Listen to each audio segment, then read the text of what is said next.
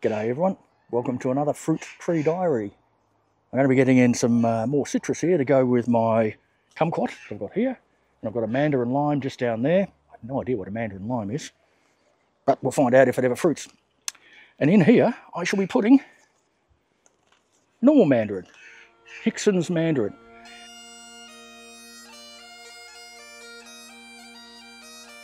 Interestingly, this one says pick the fruit when green, which is I thought. Heavy bearing, medium sized fruit, very juicy, seedless, uh, ideal for cooking and refreshing drinks. Harvest while still green. All right, so we're putting them in a pot because we want to keep the uh, size of these down. And I've used the Green Life uh, potting mix in here because um, it's nice and heavy and it should give it the nourishment it needs.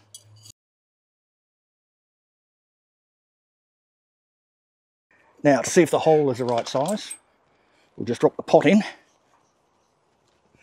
And it's pretty well right, yep. So let's get him out, loosen it all up.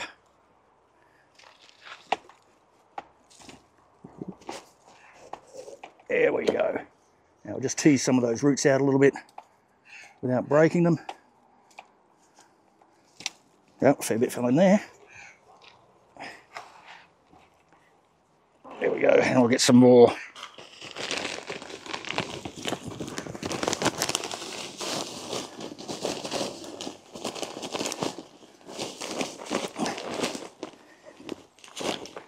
This is heavy potting mix.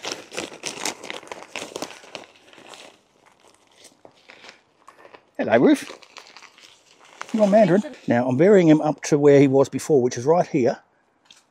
But there's some extra potting mix around the edge. So I'm just leaving a little dip there. This will, as usual, subside a fair bit over time. But we've got a nice little hollow here for them, the water to sit in. And this is a grafted one, as we can see. That's our graft right there. So I've got to be careful that anything that sprouts off this section, the rootstock, we've got to make sure we cut off.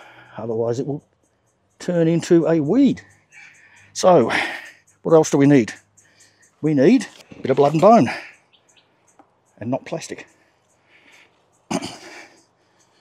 nice slow release fertilizer, very gentle.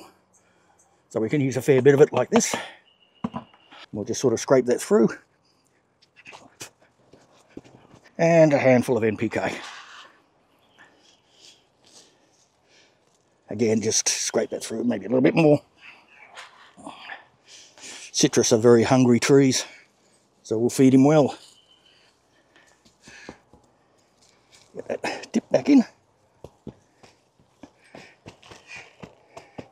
And there he is. One mandarin tree. I'll get some mulch around that, water it in, and everyone will be happy. The weather's starting to warm up a little bit now. In fact, uh, we just had to stop filming because my poor old phone overheated. Okay, so while my phone was cooling down, given it a bit of a watering. And I've heard that you should speak to your trees to help them grow. Hello, mandarin tree. I don't think it understands me and I don't speak mandarin. So if any of you have tried this Hickson mandarin, let me know what it tastes like. How hard was it to grow? Did you do it in a pot or in the ground? Interesting to find out. There he is, another tree diary. Enjoy life. I'll catch you in the garden.